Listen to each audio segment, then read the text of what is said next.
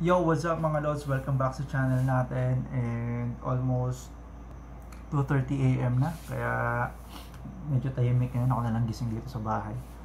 Magawa ng vlog mga madaling araw kasi para tahimik yung kapitbahay tapos wala rin masyadong taong maingay sa labas. So ito lang quick unboxing lang tayo ng bagong gear na gagamitin natin and quick background lang din dati.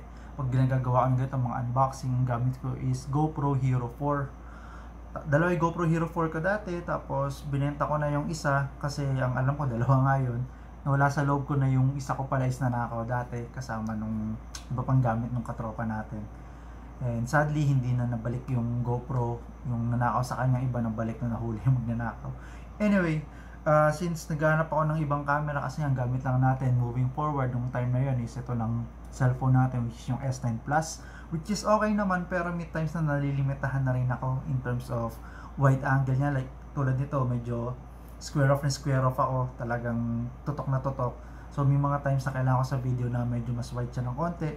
So either minsan nilalayo ko na ng todo yung phone or ayun yun lang. Yun lang yung choice ko. Wala akong mga lente para sa cellphone. So anyway uh, quick unboxing lang tayo nitong bagong binili natin which is DJI Osmo Action hindi na natin siya yung i-unbox step by step tulad ng mga ginagawa na marami mga nag-unbox kasi marami naman ng unboxing videos nito. Tsaka uh, nabili na rin natin siya second hand na pinost ng tropa natin si Ken. There, thank you sir. Actually, dati ko pa siya gusto. Bumili ako dati ng Osmo Pocket. Tapos, tinry ko siya, okay naman. Medyo tight din masyado yung buhay niya. Although yung stabilization niya okay. Kaya, bumili tayo.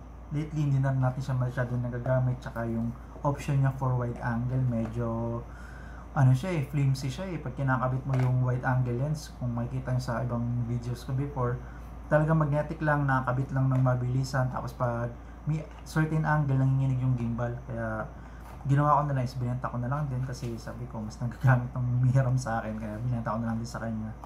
Then moving forward, wala na ako masyadong action naman na ginawa. So, okay na rin. Ngayon, naghanap tayo kasi kailangan natin ng additional na gamit para sa yung mga wide angle natin tsaka sa mga succeeding natin ng mga vlogs din and entry dito sa YouTube yan. Tulad yan, nanginginig pa tong cellphone ko ngayon. So, bakit Osmo Action? Bakit hindi na lang GoPro? Total sa GoPro naman ang galing. Unang-una yung lumabas to before, tuwa ko kasi meron siyang screen sa harap. So, pwede ka mag-framing. Para din siya dun sa Osmo Pocket na pag pinlip mo siya, nag-selfie mode ka, kita mo yung sarili mo sa framing, kita mo yung sarili mo sa screen, alam mo kung ano nakukuha na mo. Same goes dito, kita siya, meron siyang screen dito sa harap, and also meron din siyang main screen dito sa likod. So most likely naman, alam nyo na rin naman to kasi sobrang tagal na nito, almost 1 year na rin. And bakit hindi ako kumuha dati? Kaya naman natin kumuha dati, pero redundancy lang din kasi nga, dati meron pa tayong GoPro Hero 4, tapos meron din tayong Osmo Pocket, plus meron din tayong cellphone, aside pa doon sa mga drones natin.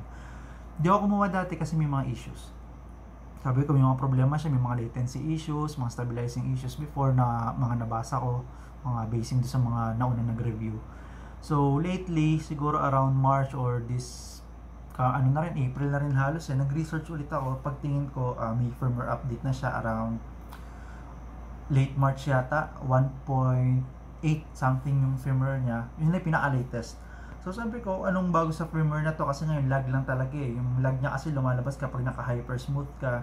No, siguro parang sorry. Pag naka-rock steady ka, naglalag siya, may delay na kapag nagganon ka sa harap mo, tsaka pa nalalabas sa may screen. Pero this time, nung naayos na nila, okay na. Kaya sabi ko, siguro time na para bumili. Sakto naman nag-post yung tropa natin. Kaya sabi ko, sige, kunin na rin natin kasi good deal na rin eh. Kasi kasama ng package niya is aside dito sa standard pack niya na yung camera, yung case niya, tapos yung syempre yung mga bubot, manual, keyboard, mga pang lock, yung mga attachments niya, curve attachment, tapos ito yung flat na attachment.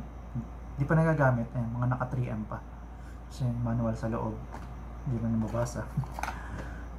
Tapos may libre na rin takip. Plus, meron na rin siyang ako anong brand nito na ano na uh, diver case. Anyway, okay na rin, good deal na rin kasi halos sariwang sariwa tong kaya okay na rin. So ito yung gusto ko sa kanya, yung picture niya to.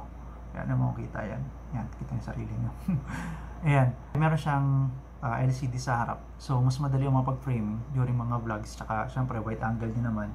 Kaya hindi ko na kailangan masyadong ilayo kasi yung Osmo Pocket dati halos ilayo ko ng todo sa akin makita ko lang yung mukha ko plus yung surrounding so pag naglalakad ako sa Makati dati nakaganon ako nakatingin yung mga tao. Plus naka-attach pa sa cellphone. Aside sa aside sa ito sa screen na to nagustuhan ko rin sa kanya is DJI na siya. So yung color profile niya which is yung meron siya normal tapos meron din siya yung DC na like almost pareho na siya dun sa mga drone so hindi na ako mahirapan mag kulay-kulay kasi dati from GoPro plus yung drone ko, yung DJI Mavic Pro or yung Phantom 4 Pro ko, pag nakasina like yung dalawa, naka-flat, tapos nag ano ka sa GoPro, biglang ano siya, hindi siya ganun ka-flat, matingkad siya. Ahabulin ko ngayon, so ang hirap mag-color grade. Ewan ko, hindi naman ako professional sa pag edit pero yung makikita mo yung difference talaga ng kulay niya.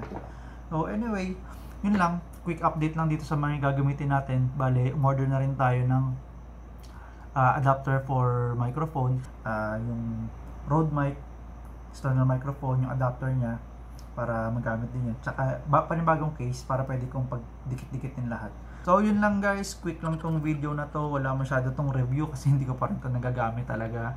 Ta-test natin yung mga bago. Ang ginawa ko na sa kanya, pagka-open ko, in-update ko yung firmware, tinignan ko yung latency test. Try nga natin. Masama yung latency niya.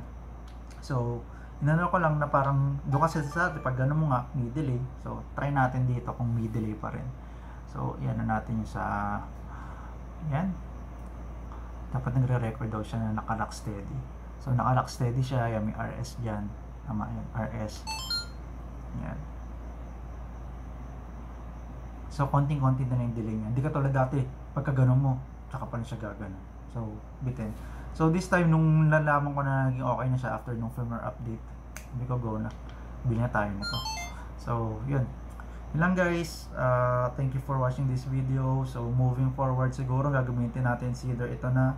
Pwede pa rin natin gamitin ng S9 pero most likely ito na yung gagamitin natin. So, yun lang. Thank you.